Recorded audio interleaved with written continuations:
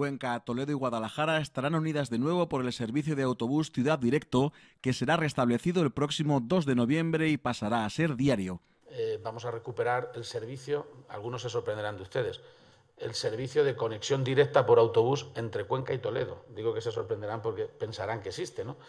Pues mm, existe una vez a la semana o dos y lo que vamos a hacer es el servicio diario. A partir del día 2 volverá a recuperarse la conexión diaria por autobús público directo Cuenca-Toledo, Guadalajara-Toledo, en ambos sitios. Paje ha manifestado que medidas como esta tienen como objetivo avanzar en la igualdad entre territorios y eso se verá plasmado en una nueva ley que garantizará el acceso a servicios básicos como las telecomunicaciones. Está evolucionando tan deprisa el problema de las comunicaciones que terminará siendo, nosotros lo queremos reconocer en esta ley, un derecho el derecho al acceso a las telecomunicaciones. Probablemente sea de las primeras veces que se establezca este criterio.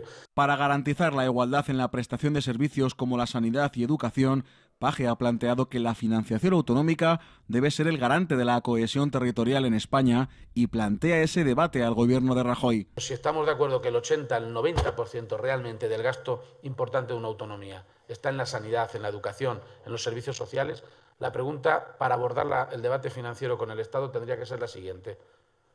¿Cuánto le costaría al Estado, cuánto le costaría al Estado prestar esos servicios de manera equiparable, es decir, justa?